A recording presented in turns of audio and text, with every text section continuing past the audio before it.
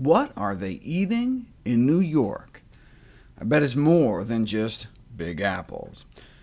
You may remember me covering this study a few years ago, which showed that the primary source of flame-retardant chemicals in the American diet, uh, with the exception of infants who get all the pollution straight from their moms, is meat, fish, dairy, and eggs.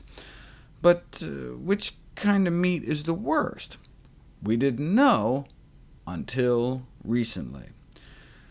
We know that fish is the worst, and this was for halibut, which is actually one of the least contaminated. But in terms of other meats, second only to fish in terms of contamination, poultry, then pork, then beef. Uh, what's uh, this one here, though, between chicken and fish? Turkey.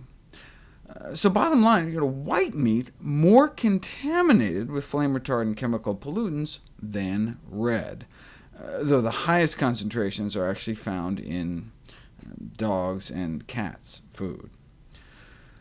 What about polychlorinated naphthalenes? Uh, until this study was published, information on the occurrence of these toxicologically significant industrial pollutants in food or on human exposure was sparse.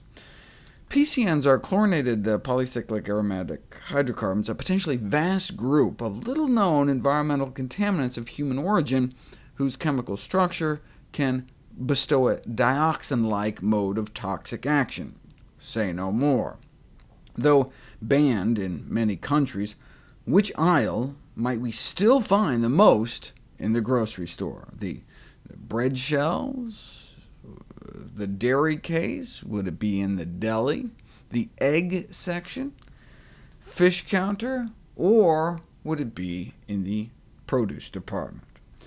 The worst was fish, with the worst of the worst, farmed salmon, followed uh, closely by organic salmon.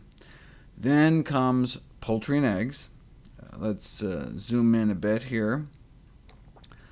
Red meat has less, the worst being lamb. Uh, then comes dairy, and at the bottom of the food chain, vegetables, fruit, and bread. So about 10 times less than meat, dairy, eggs, and about 100 times safer than fish, which uh, gives us an idea of the route we may want to take through the supermarket.